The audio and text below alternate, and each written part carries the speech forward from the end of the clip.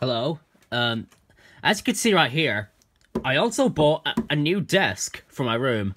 This is because um, I needed something bigger to view my diecast cars on, and now, um, the reason why I'm making this video is because I wanted to show you uh, all my uh, cars, my diecast F1 cars. Um, I have got some other ones there that I hadn't shown you yet. And I'm going to be reviewing these th these on the desk with um with this thing called a solar powered turntable. So anyway, uh, today there are some cars we hadn't actually mentioned um my first review, so I'll be reviewing the I'll be reviewing this car as well. Which is uh, the 2014 Scuderia Toro Rosso uh, Renault Power STR9. And that is Jean-Éric Vergne's car. Got that for my birthday in June. I also got...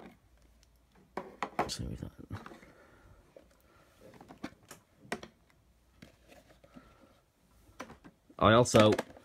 I also um, got the two Lotus cars for my birthday this what I, I got both Grosjean and Grosjean's and Maldonado's cars, so I've both Lotus E22s.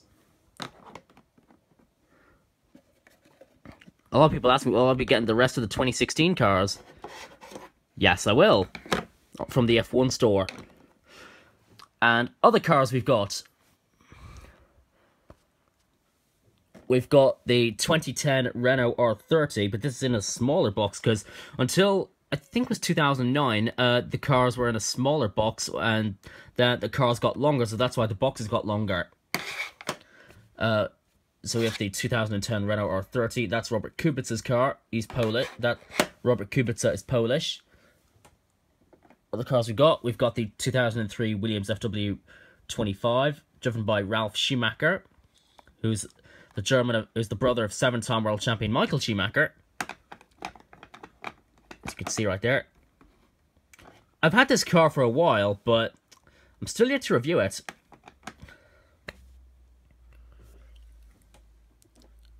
Other cars, and here we have the 1999 uh, Prost. We have the 1999 Prost AP02. That's Olivier Panis's car. French driver. Move that up. Move those up other cars we've got to review. We've got the 2000 Arrows Supertec A21, driven by Spanish driver Pedro de la Rosa.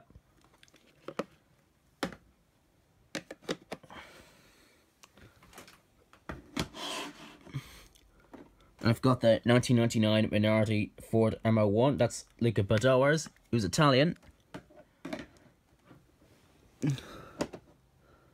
And here, we have a special car. This is another Minichamps car. And this is the March BMW 792 in the European Formula 2 Championship. And this was driven by Derek Daly from the 1979 season.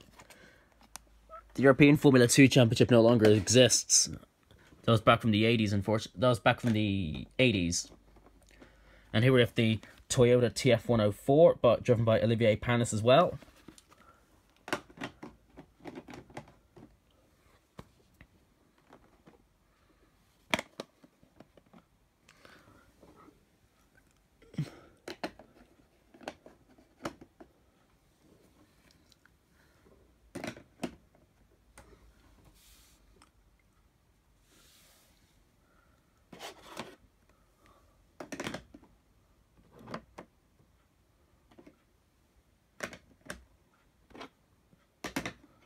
That's Nick Heidfeld's Jordan over there.